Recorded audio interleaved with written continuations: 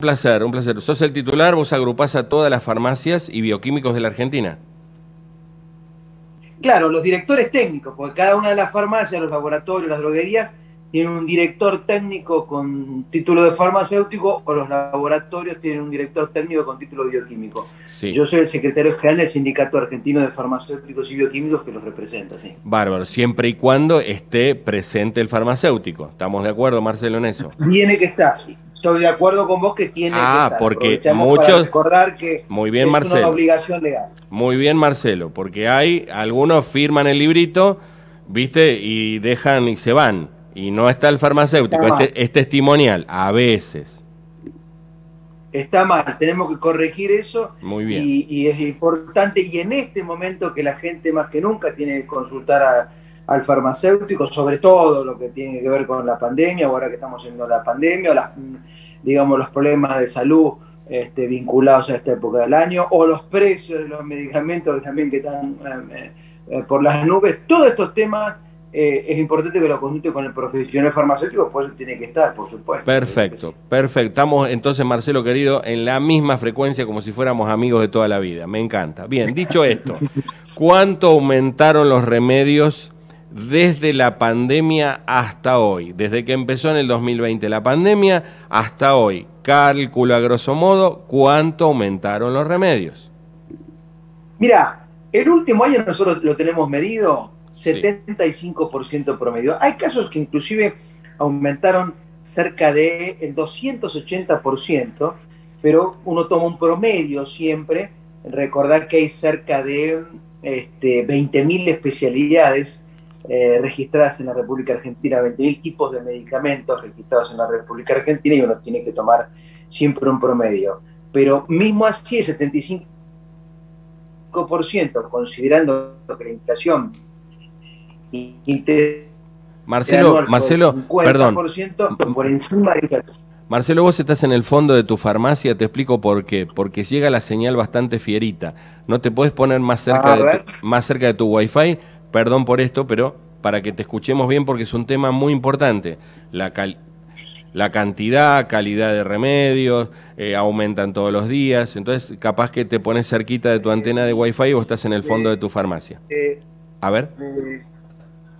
A ver, a ver, a ver si mejora ahí el, la señal de Wi-Fi. A ver si mejora. Ya me va a decir el director, te va a poner al aire. Mientras tanto, seguimos hablando. Marcelo, ¿me escuchás? Dale, ahí, ahí sí cambié el wifi, a ver si, si, si se ve, pregúntale a tu director. Sí, ya el director, él, me va a poner a leer si está, pero mientras tanto seguimos, seguimos hablando. Pero sí se escucha. Bien, te bien, te eh, pregunto, aumentaron 75% los remedios en el último año, 2021. Claro, exactamente, es el interanual 2020-2021. Vamos a preguntas, Marcelo, preguntas puntuales, vos sabés cómo es el ritmo de radio. Preguntas puntuales. ¿Cuánto aumentó el ritmo, eh, perdón, el consumo de psicofármacos? Los Alplax de la vida, los clonagines de la vida, los clonacepanes. ¿Cuánto aumentó el consumo en pandemia y en el 2021? 28% promedio, nosotros tenemos este, directamente ligado al encierro y, al error estratégico que significó una cuarentena tan larga y que la gente no pueda trabajar. Perfecto. ¿Aumentó, me estás diciendo, el consumo de psicofármacos en un 28%? Tal cual, exactamente, eso te estoy diciendo. Se disparó. Si bien ya viene en aumento, vos tenés que considerar que hay cerca de 9 millones de consumidores de psicofármacos en la República Argentina, la pandemia lo que hizo fue agravar el cuadro, porque la gente tiene que saber que cuando entra en el consumo de psicofármacos después es difícil salir, ¿no es cierto? Vos entras y che, me tomo una pastillita para dormir mejor, para no calmar la ansiedad, pero después esa pastillita no la puedo dejar.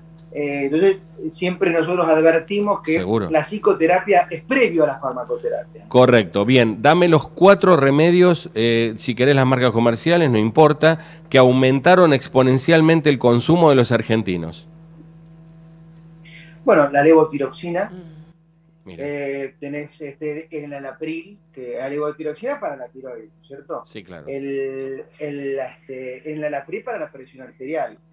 Eh, el, clonazepam, por lo que hablábamos recién, ¿no es cierto? Sí. El tema de los psicofármacos. Sí. Y el ibuprofeno como, como el analgésico más, eh, digamos, dispensado, más consumido, que hay también un sobreconsumo, porque fíjate vos que pasó de, digamos, versiones de baja concentración, 200 miligramos, a la de 400 y a la de 600 miligramos, ¿no es cierto? Con lo cual también ahí hay, un sobreconsumo. Ahí tenés eh, por lo menos los cuatro medicamentos que más se consumen y que también directamente ligado al, mayor aumento de precio. ¿Cuál bajó que te llamó la atención a vos como profesional? Que dijiste, mira, antes vendíamos tal, no sé, antiespasmódico y ahora bajó casi nula la venta. En, lo mismo, en el mismo orden te pregunto, los cuatro que bajaron, los cuatro que decís, no lo puedo creer, pero bajó el consumo de esto. Mira, yo eh, veo eh, algunos medicamentos crónicos, producto eh, digamos, la diabetes, por ejemplo, eh, este, que dejaron de consumirse, o sea que la diabetes es una, enfermedad crónica que tiene que consumirse todos los meses, sea insulina o sea pastillas, oral no puedes dejar de consumirla. Ahí cayó. Hay este, algunos medicamentos para el colesterol, que también, si vos, si, si tu médico te lo recetó, tenés que consumir diariamente y en forma crónica también eh, cayó. En, este último caso hay muchos efectos secundarios que, se, que, el paciente está manifestando, como dolores en las articulaciones, en las rodillas, producto ¿viste, del uso, uso sostenido de los medicamentos para el colesterol. Dos, te digo que, que, veo que han, eh, digamos, decaído el consumo. Bien, así como tenés primeras marcas, qué sé yo, Ruemers, eh, Vago, primeras marcas que vos decís son laboratorios serios, ¿la gente le alcanza el dinero y te dice dame el de Ruemers o dame el de laboratorio Cuquito? ¿Cuánto significa esto? ¿Esto es cierto o la gente en pandemia consume el mejor remedio que le recete su médico en una receta ética, claramente? No, no, no. Cada vez más la gente le pide al farmacéutico que cambie una marca conocida por otra marca eh, no conocida. Y está bien que eso se haga porque eso está en la ley 25.649, o sea, la ley de genéricos, que le faculta al farmacéutico a cambiar una marca por otra equivalente, o sea, que contenga exactamente lo mismo, eh, pero que sea más barata. Y la gente se puede ahorrar hasta un 40%. Justamente, fíjate vos, un tema de actualidad. Ayer Feletti convocó al secretario de Comercio, digo, ¿no es cierto?, a los laboratorios a congelar el precio de los medicamentos. Algo que nosotros ya adelantamos que eh, no es correcto, no le va a dar un resultado. Pero sí le daría resultado esto que acabas de mencionar y estamos desarrollando, que el farmacéutico sustituya marcas más costosas por marcas más económicas, porque hay, y hay toda una tendencia tal vez, yo te diría perversa, eh, de decirle a la gente que inclusive no le alcanza el salario, no le alcanza el sueldo, que como dijimos recién aumentaron el precio de los medicamentos por encima de la inflación y de las paritarias, a pagar el medicamento más caro. Entonces, eso soluciona consultando al farmacéutico. La gente tiene que saber que en la gran mayoría, no en todos, pero sí en la gran mayoría de los medicamentos, hay alternativas que son equivalentes y son más económicas. Y hay que preguntarle a, ese farmacéutico que decíamos al principio de la nota que tiene que estar en la farmacia, que tiene que estar en la droguería, que tiene que estar en el laboratorio. Perfecto. Reiteramos, Marcelo, porque es un placer hablar con vos, realmente, porque sos muy claro. Dame los cuatro remedios para que la gente entienda qué nos dejó la pandemia. Los cuatro o cinco que, que las personas consumen en tu farmacia. Los cinco primeros. Que, que se disparó la venta. Bueno, levotiroxina, levotiroxina. de, la, de, la, tiroides. Sí. Eh, hablamos de este, clonazepam, el tema de, los psicofármacos, en alapril, el tema de los problemas eh, cardiológicos o, este, hipertensivos, porque este es un anti eh, este, hipertensivo, y, el ibuprofeno, que es, digamos, el analgésico de batalla que ya desplazó, viste, a la aspirina o al paracetamol en sus distintas variantes. Pero claro, ahí nosotros estamos viendo incluso un sobreuso, por eso ahí también hace falta racionalidad. De nuevo, eh, el rol del farmacéutico, ahí le estamos pidiendo al Estado que, que, digamos, fortalezca que además del médico, en medicamentos, ¿no es cierto? La gente tiene el farmacéutico, ese profesional que estudió cinco años y que le puede acompañar para hacer un uso más racional. Tomar lo que necesita está fuera de discusión, pero no tomar en exceso, no abusar, tener cuidado con las contraindicaciones y los efectos secundarios, cómo conservar adecuadamente el medicamento. Sí, sí. La última, Marcelo, de toda la farmacia donde estás vos ahora, Argentina como país, en el volumen del 100% de los remedios que tenés ahí, de toda la infinidad que debes tener, eh, anti, anticarcinogénico, qué sé, de todo debes tener en tu farmacia. ¿Qué produce Argentina en porcentaje del 100%? ¿Qué produce la República Argentina? Digo, la droga inicial, ¿producimos algo o todo es importado? Mira, la droga, droga base, es, yo te diría, casi toda viene de afuera, pero en la elaboración del medicamento, eh, yo diría que un 30% de los medicamentos que se consumen eh, son de producción nacional, lo cual es importante. Llegó a ser más, llegamos a producir el 50% del total de los medicamentos que se producían en la Argentina. Con la droga, perdón, con la droga original, ¿la producíamos la droga original o la traemos de afuera y la manufacturamos y la envasamos, por llamarlo de alguna manera?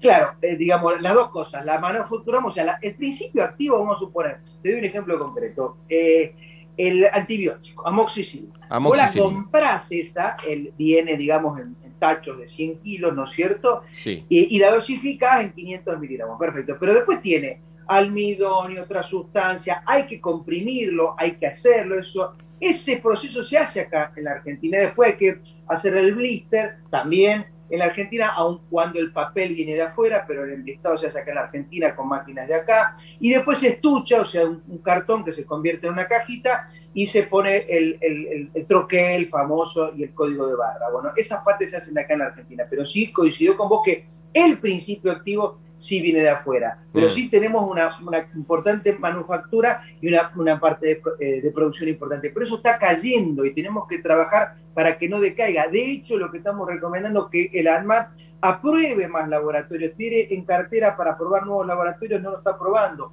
o la posibilidad de que laboratorios ya autorizados produzcan más moléculas o más medicamentos que tampoco lo está autorizando y eso aumentaría la competencia. Por eso es importante una mejor política farmacéutica que hasta ahora no tenemos. La última, y agradeciéndote infinitamente este contacto con toda la provincia de La Rioja, eh, ¿cuánto van a aumentar los remedios de hoy al 31 de diciembre? Dame un estimativo.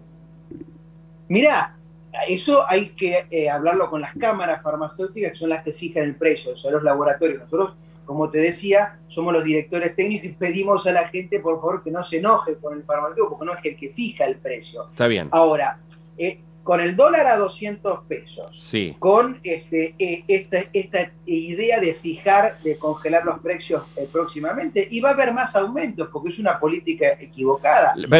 Marcelo, perdón, porque tengo otra nota.